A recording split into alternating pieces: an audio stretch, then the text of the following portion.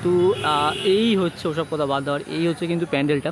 এই দিকটা কিন্তু বেশ ভালো পরিমাণে ঢাকা যায় এর হাইটটা কিন্তু ভালো হচ্ছে মানে এই উপরের অংশ হচ্ছে ঠিক এই রকম মানে উপরে কিন্তু কাজ হচ্ছে এবং প্যান্ডেলের ভেতরেই হচ্ছে। হ্যালো, হাই, ওয়েলকাম এব্রাম তোমাদের সকলকে জানাই আরও একটা, না একটা না আরও দুটো ভিডিওতে একসাথে স্বাগত। কারণ আজকের এই ভিডিওটাতে থাকতে চলেছে একসাথে কলকাতার দুটো জনপ্রিয় ক্লাবের ভিডিও। তো এই দুটো ক্লাবের দুর্গাপুজোর প্রস্তুতি ঠিক কতটা পরিমাণে হয়েছে সেটা কিন্তু তোমরা এই ভিডিওর মধ্যে পুরোটা দেখতে পাবে। আর সবথেকে বড় কথা হচ্ছে কিন্তু এখন আমি একটা ছোট্ট করে আপডেট দিয়ে রাখলাম, পরে কিন্তু আরও ভালোভাবে ভিডিও আসতে চলেছে। পুরো ভিডিওটা কিন্তু স্কিপ না করে দেখতে থাকো। আমি এখন এক্স্যাক্টলি একটা মিষ্টির দোকানের সামনে এই জায়গাটা দাঁড়িয়ে আছি। আর আমার এই দিকটা হচ্ছে কিন্তু তিধারা দুর্গাপুজোটা হয়। তো এই দিকটা হচ্ছে কিন্তু পুরো তিধারার পুজোটা হয়। আর আমার ঠিক উল্টো দিকে মানে এই রাস্তাটা দিয়ে সোজা গেলে কিন্তু হচ্ছে বালিগঞ্জের দুর্গাপুজো মানে বালিগঞ্জ কালচারাল অ্যাসোসিয়েশন ক্লাবের দুর্গাপুজো। তো চলো ওখানে যাওয়া যাক, দেখা যাক ভিডিও করতে দেয় কিনা, কারণ এখনও কিন্তু পুজো অনেকটা বাকি আছে। তো চলো ওদিকে যাওয়া যাক। আর এই সামনেই হচ্ছে কিন্তু বালিগঞ্জ কালচারাল অ্যাসোসিয়েশন ক্লাবের দুর্গাপুজো মণ্ডপটা। আর এটা কিন্তু হয় একদম রাস্তার উপরে মানে আমি এখনও কিন্তু দাঁড়িয়ে আছি পুরো রাস্তার উপরে।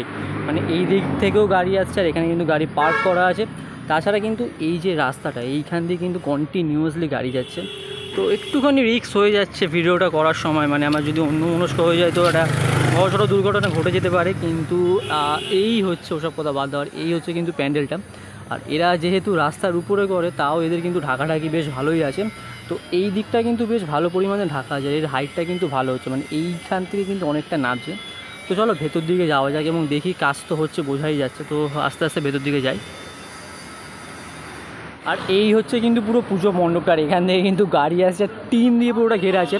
আর এদেরও কিন্তু ঠাকুর কিন্তু ভেতরে বানাচ্ছে, কতটা বুঝতে পারবে আমি জানি না। এই যে পদ্মা দিয়ে ঢাকা অংশটা, এইখানেই কিন্তু ঠাকুরটা আছে, তো এদেরও কিন্তু ঠাকুর ভেতরেই বানাচ্ছে। আর উপরের অংশ হচ্ছে ঠিক এই রকম মানে উপরে কিন্তু কাজ হচ্ছে। তো এইখানে কিন্তু পুরো বাঁশের কাজ হচ্ছে। এদের স্ট্রাকচারটা নর্মালি হয়েছে, তো এদেরও কিন্তু লোহার একটা ব্যবহার আছে মানে বাঁশের সাথে কিন্তু এরাও কিন্তু লোহার ব্যবহার করছে। তো পুজো আসলে পুরোটা বুঝতে পারব, আর এই হচ্ছে কিন্তু পুরো অংশটা। আর এই দিকে কিন্তু পুরো প্লাইউডের কাজ চলছে মানে এই অংশটায়। এই হচ্ছে কিন্তু তিধারার একটা গেট করা হচ্ছে, খুবই সুন্দর। আর কটা দিন পরে মা আসছে ঘরে। আর এই হচ্ছে কিন্তু গেটটা তো চলো এদিকে যাওয়া যাক। আর পুরো সময় কিন্তু এই জায়গাটা পুরো আলাদা রকম লাগে মানে পুরো বাস দিয়ে ঘেরা থাকে চারিদিকে এবং লাইট থাকে। তো এখন কিন্তু মানে বেলার দিকে, তো অন্যরকম লাগছে। তো চলো দেখা যাক কী অবস্থা প্যান্ডেলে।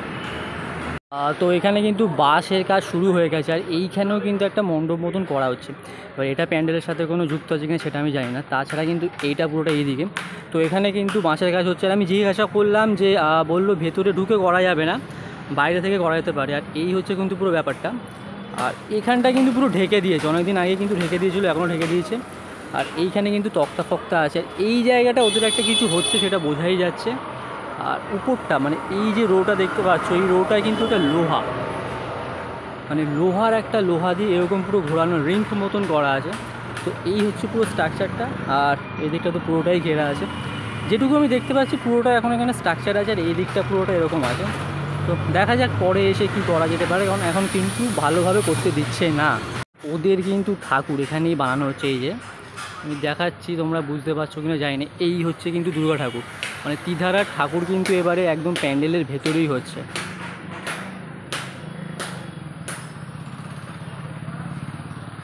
ওদের যেহেতু প্যান্ডেলের ভেতরে ঠাকুর রয়েছে, ওই জন্য কিন্তু ওরা ঢুকতে দিচ্ছে না। তো পুরো প্যান্ডেলটা কিন্তু ঘিরিয়ে রেখেছে। তো এই দিক থেকেও কিন্তু স্ট্রাকচারটা পুরোটা এরকম লাগছে। তো এই হচ্ছে কিন্তু পুরো প্যান্ডেলের অবস্থা।